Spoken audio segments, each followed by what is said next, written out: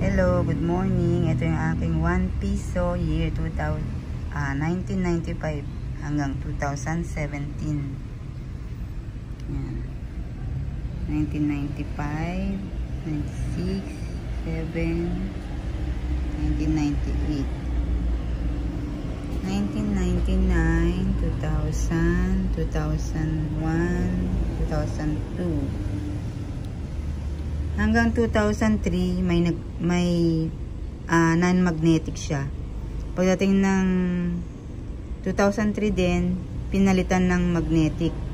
Kaya bali ang 2003 ay non-magnetic at saka magnetic. Ayan. Steel plated na lang itong from 2004 hanggang 2017. Ayan, 2005, hard to find po ito. 2006, semi hard to find. Yung 2007, marami po ito common. Common ang 2007, kaya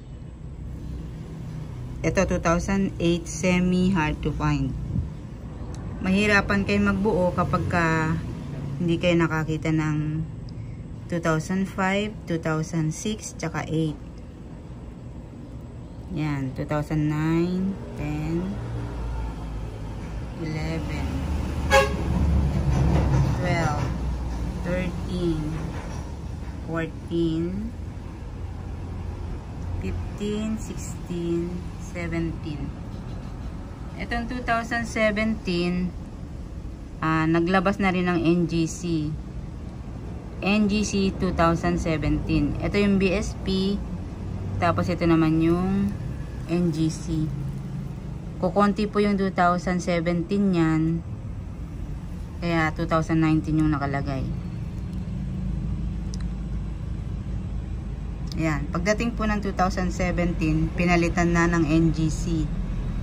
Bagong design, new generation currency na po. Ayan po, inuulit ko, ang hard to find ay 2005. Semi hard to find naman 2006 at saka 2008. Ayan po, sana may natutunan kayo kung bakit binibili yung mga hard to find. Kapag po kasi nagbubuo kami ng ganito, yun po yung mahirap hanapin yung 2005. Kaya para makabuo, bibilin na lang.